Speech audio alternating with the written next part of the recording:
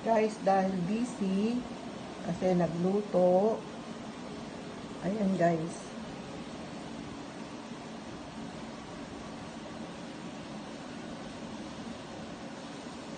Share ko lang sa inyo guys.